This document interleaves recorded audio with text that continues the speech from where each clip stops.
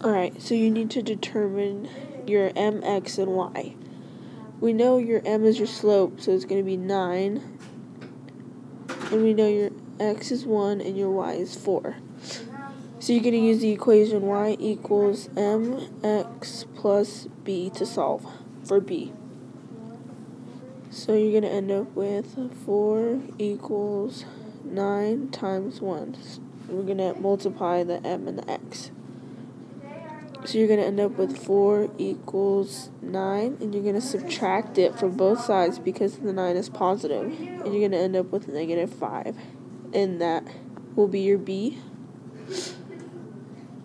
So your slope intercept form equation for these points will be y equals 9x minus 5.